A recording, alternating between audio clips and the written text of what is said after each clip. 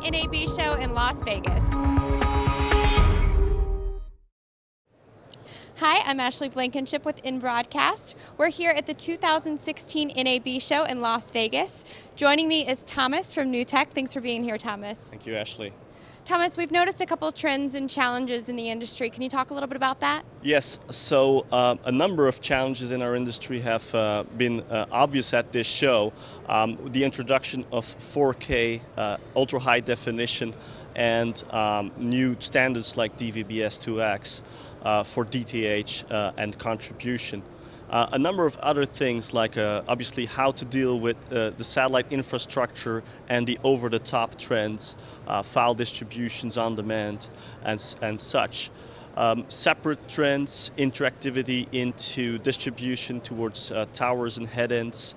Um, we're also basically seeing a lot of contribution questions uh, regarding news and sports um, in the sense of uh, using fiber for sports or using satellite for sports contributions and also um, the challenge of managing uh, news networks with um, bonded 3G or LTE contributions together with uh, hybrid satellite uh, networks. I, I, think the major challenge is to deal with all these trends and not to deal with them in a separate way, not to create new networks for each of those individual uh, challenges. So how does Newtec make a solution for all of these challenges?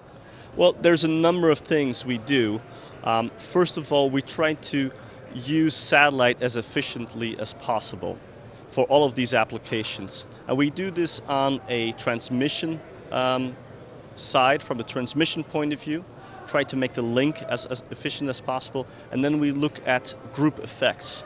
Uh, different applications, different sites, affiliates of broadcasters, how we can group these and make the group efficiency as high as possible as opposed to just the link efficiency.